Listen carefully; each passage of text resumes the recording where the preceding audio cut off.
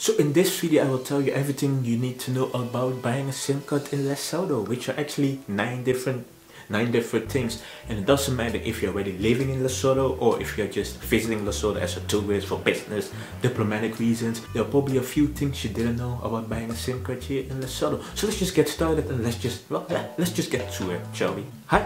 It's Adu for Phone Travel Wiz, where we talk about everything related to traveling with your phone, which could be local SIM cards, international SIM cards, phone travel tips, mobile hotspots, when with your provider, just everything related to traveling with your phone. And in today's video, we will focus on Lesotho, which is a relatively small country in South Africa, which neighbors South Africa as well.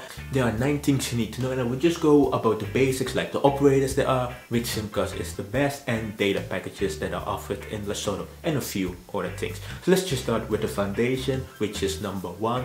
Which operators do we have in Lesotho? Well, in Lesotho we have two operators, which is Vodacom Lesotho and Econet Telecom Lesotho, which sounds very long and it's because of a merger between Econet Lesotho back then and Telecom Lesotho and they just became Econet Telecom Lesotho. Let's just say Econet, that's a bit easier to, you know, that was a bit better off the tongue. But not to be confused with Econet in Zimbabwe and Burundi, just Econet Lesotho. And I just want to give a quick note related to Vodacom at the time of writing, well, not at the time of writing, but at the time of recording, Vodacom has been offering 5G in Lesotho and it's also available for prepaid customers and 5G is on band, I'm not really sure if they refer to 5G as bands, but N78 on 3500 gigahertz. So if you have a 5G phone, you may want to go with Vodacom just to try out and see, well, how it is in Lesotho. So that's something to be aware of. Alright, so number two, where can you get a SIM card in Lesotho? Well, you have to go to the official stores of these operators.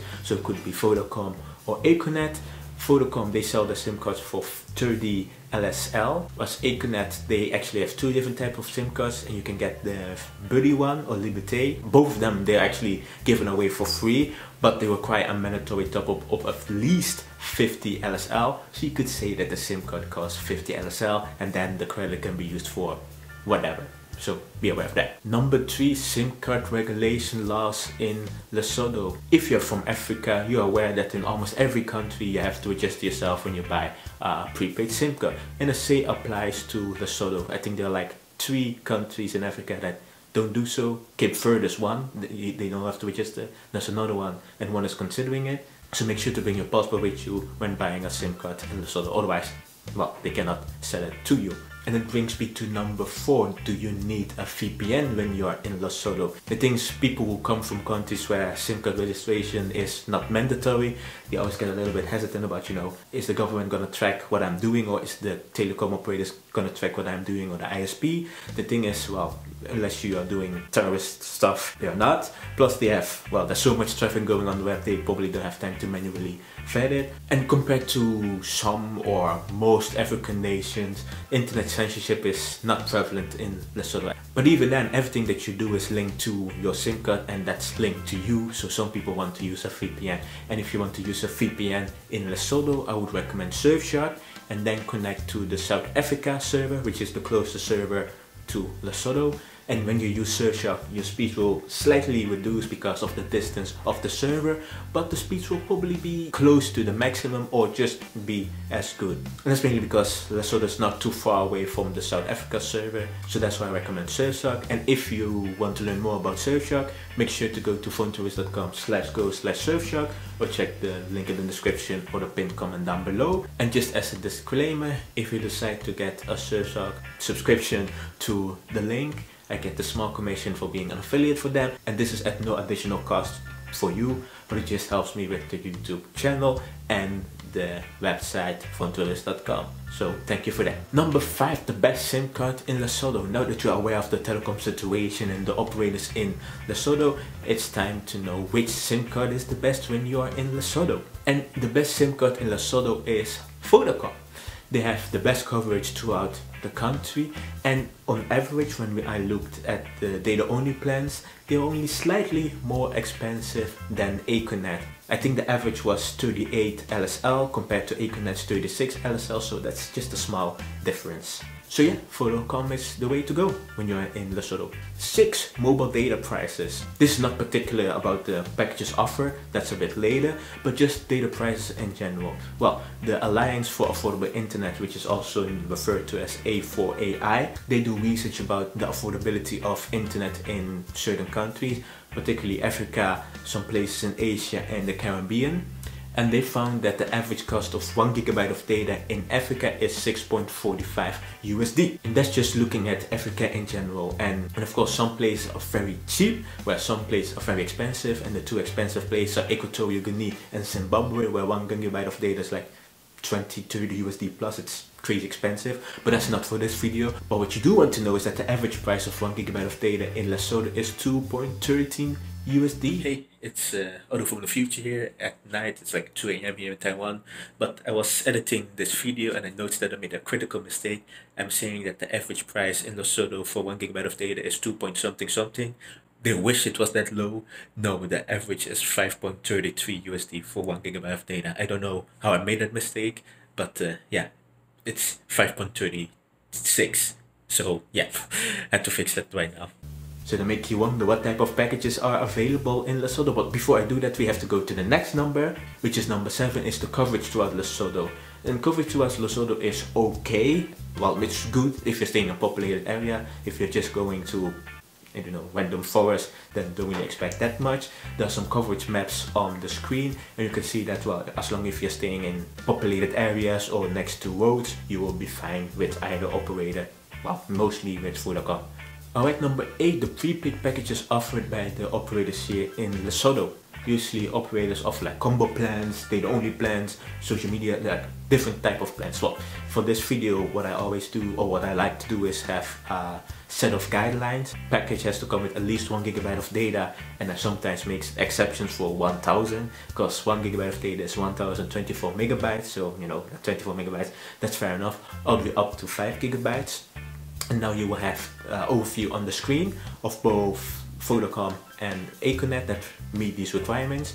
And if you want to see a full list of all the packages offered by these operators, make sure to go to phonetravelwiz.com slash lesotho-guy and then you can see all the packages. Because if I would go through all the packages, you would get bored. Trust me, I've done it before. People got bored. Anyway, let's just look at these packages per operator. With Vodacom, only the data only plans meet the requirements. These are the data only plans that meet the requirements and you know, they, they seem fair. 1000 megabytes, 2 gigabyte of data for like 50 LSL for 7 days. 4 gigabyte of data for like 155 LSL, oh, okay, specifically 154 for 30 days.